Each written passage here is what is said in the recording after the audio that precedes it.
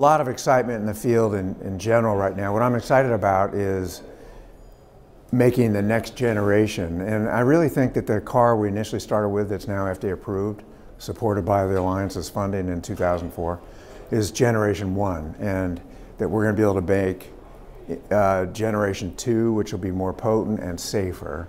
So we're excited about making CARs that are more potent, can work in tumors where they don't work right now, such as pancreatic cancer. And we're also excited about the opportunity where we already have a 90% CR rate in leukemia, but can we make that drug less toxic?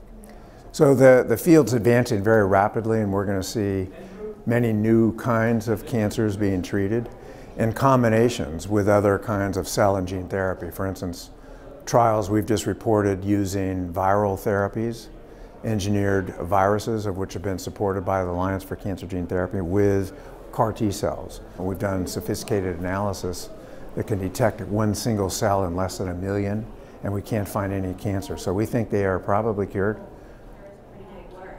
Cure is a big word, and that's been the goal from the beginning, I have to say, for cell and gene therapy. It wasn't to hit layups. In, a, in basketball terms, it was try to hit three pointers.